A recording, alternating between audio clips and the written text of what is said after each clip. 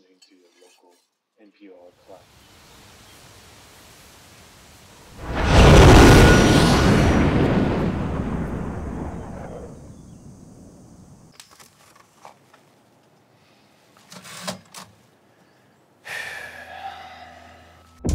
Oil poured into the sound at the rate of 20,000 gallons an hour.